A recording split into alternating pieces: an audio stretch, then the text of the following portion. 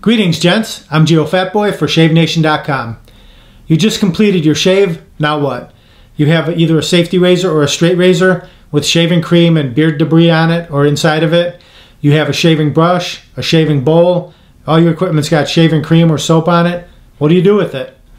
All right, I'm about to show you. Let's get to work. Squirt some mild dish detergent into a bowl.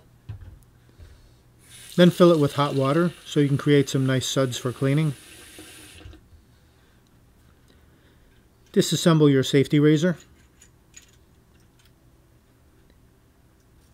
Remove the blade and rinse it under the water. Don't try to clean your blade, it's too dangerous. Store the blade on your Shave Nation magnet out of the reach of children. Then give all the parts a good scrub down with a soft bristle brush.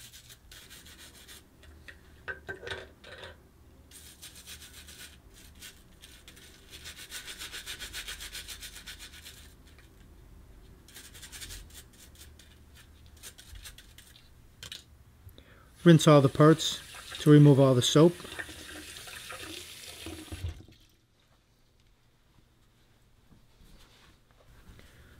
Then thoroughly dry everything to prevent any water spots or rust from accumulating.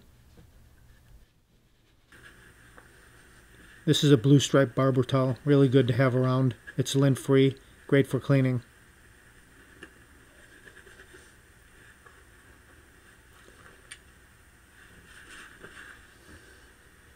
If you're using a straight razor, rinse it under the water.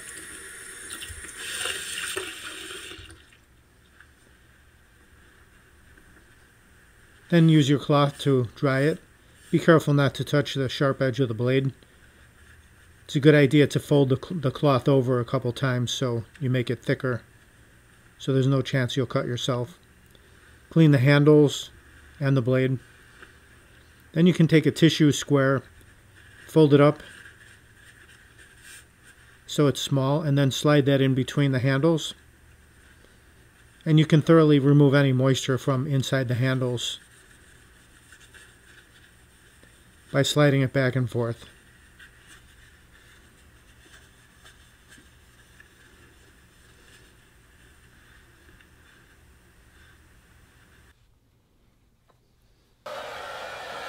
You can use a blow dryer if you'd like to speed up the process and dry everything even more thoroughly.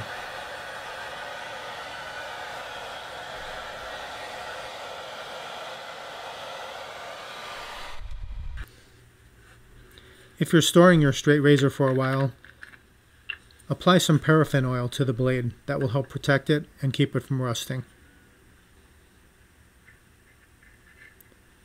Just a small amount, and then you can dab it on with your finger or a cloth. Just cover the entire blade with it. Then you can store your blade and not have to worry about it.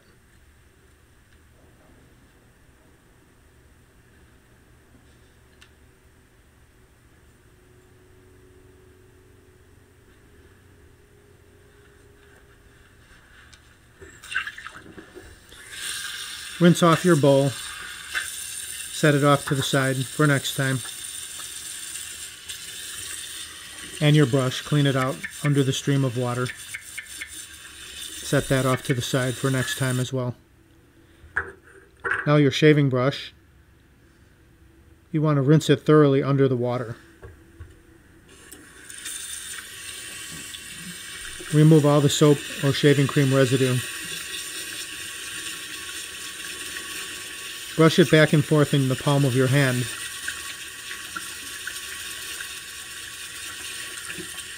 And give it a couple of light squeezes. You don't want to pull on the bristles, but you can give them a squeeze to wring the water out. Then shake it a couple times to remove the bulk of the water. And lay a towel flat across your palm and brush it back and forth several times. That will help dry the bristles. Shape it with your other hand and then set it off in a stand with the bristles down to dry. That's the recommended drying position for a brush. Your shaving bowl, rinse off the outside of it, remove any shaving cream or shaving soap that might be there, and then take your finger and just run it around the inside of the bowl and remove the soap that's built up on the sides.